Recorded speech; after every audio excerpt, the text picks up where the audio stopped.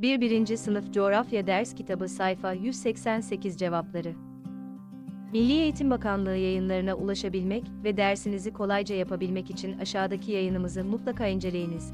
1. 1. Sınıf Coğrafya Milli Eğitim Bakanlığı Yayınları Ders Kitabı Cevapları Sayfa 188 görsellerin altında bulunan noktalı yerlere insanları turizme yönelten faktörleri yazınız.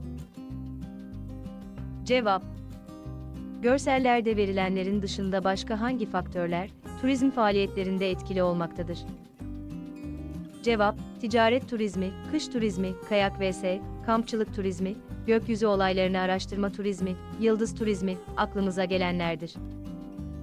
1. 1. Sınıf Milli Eğitim Bakanlığı Yayınları Coğrafya Ders Kitabı Sayfa 188 Cevabı ile ilgili aşağıda bulunan emojileri kullanarak duygularınızı belirtebilir, aynı zamanda sosyal medyada paylaşarak bizlere katkıda bulunabilirsiniz.